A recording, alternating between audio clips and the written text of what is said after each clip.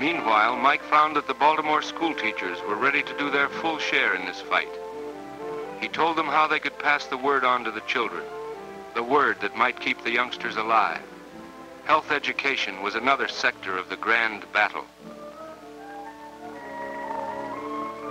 Every known method of spreading the word was used. Ignorance must not serve as a weapon for the enemy.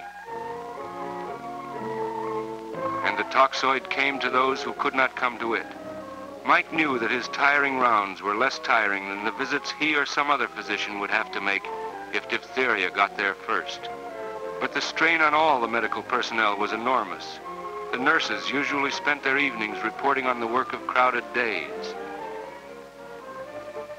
The call for doctors seemed unceasing as the outbreak reached its peak. The neighborhood practitioners and the doctors who had volunteered to help them never seemed to catch up on the visits and rounds. There was always one more case to see. The usual early winter illnesses, flu and pneumonia, began to compete for their attention as diphtheria went on striking down the youngsters of all classes. In some cases, the toxoid shots had been given too late. A spectator today might be a patient tomorrow. A worried mother one day might become a frantic mother the next. And while the outbreak was fought, the search went on for the main source of infection. Mike joined the city officials who visited the district schools.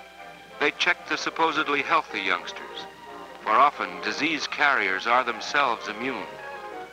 The doctors found two little girls who had suspicious nasal infections. Bacterial cultures made from these might yield an answer. They did. An answer that was discussed promptly at a staff meeting. The two youngsters had been giving diphtheria to their schoolmates. Now, quarantined and under treatment, they would no longer serve as innocent agents of death. The diphtheria outbreak could be expected to subside. This battle had been won. But disease cannot be shut off like a water tap. Mike went on helping out in the contagious wards that were still jammed. Now his internship was paying dividends. He checked case histories and worried about the beats of a hundred little fighting hearts as the children blossomed back to normalcy after a successful fight against death. They looked well, but diphtheria has a treacherous way of leaving hidden trouble. The youngsters still needed care and rest to keep them well. Mike forgot how to be tired. Often the sun came up before a night's work was over. Yes, here he was coming home from work at 9 o'clock in the morning. He was more weary and worn out than a man should ever be.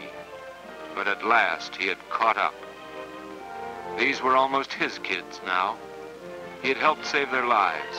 He could let them go off to school knowing they were safe from diphtheria. Although he hadn't seen them for weeks, he'd been a good doctor to them.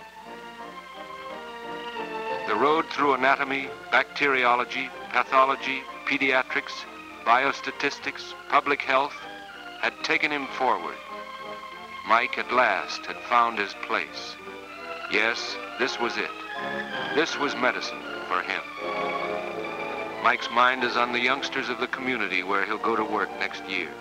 Brazil, China maybe, Alabama. Michael Kenneth Marshall, BS, MD, MPH, will be well prepared for the job.